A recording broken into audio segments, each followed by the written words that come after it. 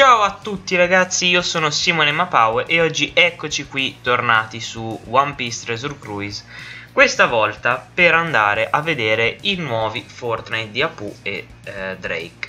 Allora ragazzi, ci tenevo particolarmente a farvi vedere questo Fortnite perché voglio parlarvi anche di tutte le novità che sono state apportate con l'arrivo di questo Fortnite. Primo fra tutti, eh, la possibilità al 100% di droppare il personaggio a fine stage. Quindi questa volta mentre prima era randomico poteva mh, dropparvi anche un baule o dei soldi adesso il drop dei boss sarà assicurato. Sia il boss eh, del quarto stage, quinto stage, sesto stage dipende dal Fortnite che eh, il boss finale di fine livello sostanzialmente. Quindi eh, d'ora in poi non sarà più così difficile maxare di livello questi personaggi, ecco.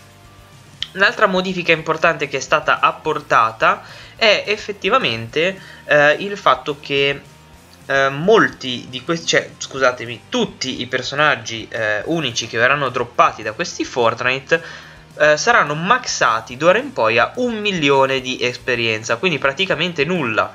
Eh, molti di questi tra l'altro sono anche molto buoni, per esempio Apu ragazzi è un ottimo personaggio, conviene per tutti quelli che eh, eh, non, non, avessero o comunque sono un po' a corto di personaggi free spirit o comunque anche chi ne ha sostanzialmente potrebbe ehm, godere del possesso di un Apu eh, ben piazzato.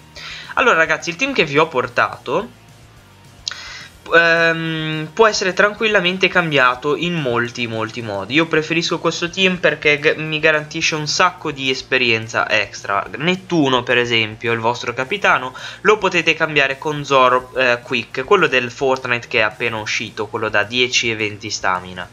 Eh, quello Zoro vi garantirà praticamente lo stesso identico bonus di attacco ma vi garantirà meno eh, esperienza per un guadagno però eh, di più berry quindi poi eh, dipende anche molto da come, come, ve lo volete, come vi volete fare il team, su che cosa contate, però sappiate che effettivamente quello Zoro Quick vi darà lo stesso identico bonus di attacco che, eh, vi, dava anche, che vi dà anche Nettuno. Ragazzi, Apu è eh, un, po', un, po', rognoso, un po' rognoso perché vi darà diversi, eh, si metterà diversi buff e vi darà diversi debuff. Oltretutto non potrete matchare orb, eh, cioè rendere orb matching, potrete solamente cambiare i vostri orb e renderveli matching, quindi io qui ho sfruttato Caribou per togliere damage threshold e l'attack up a Apu e poi ho sfruttato un po' di eh, HP Cutter sostanzialmente. Mi sono portato dietro anche Luffy del Colosseo. Luffy del Colosseo è utilissimo perché praticamente come vedete avete quasi full matching orb. Portando anche Sabo ragazzi distruggerete eh, completamente Apu Uh, io non ho voluto utilizzare il mio Nettuno proprio per farvi vedere che non è essenziale che ce l'abbiate, farlo così sarà veramente uno scherzo.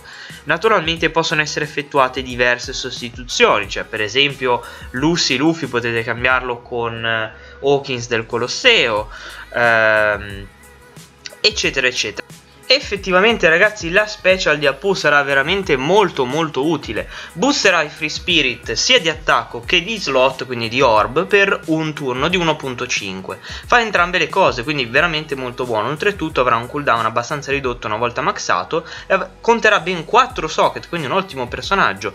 Come abilità da capitano invece duplica l'attacco dei free spirit. Se effettueremo 3 perfect di seguito ci darà 2.5 e se faremo 5 perfect ci darà 3 per al nostro attacco dei Free Spirit.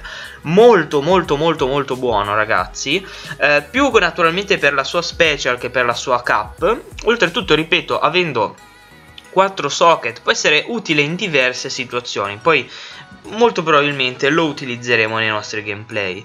Per quanto riguarda Drake non è altrettanto buono però fa la sua sporca figura. Riduce gli HP del 7% di eh, tutti i nemici e boosta leggermente il type effect, quindi le, gli attacchi normali dei powerhouse per un turno.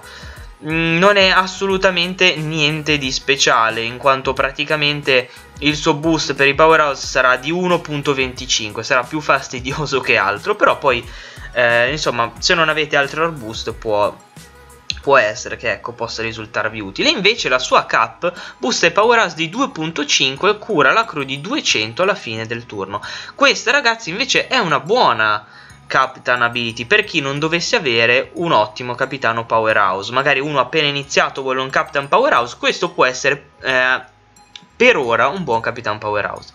Ragazzi, noi ci ribecchiamo ad un prossimo video.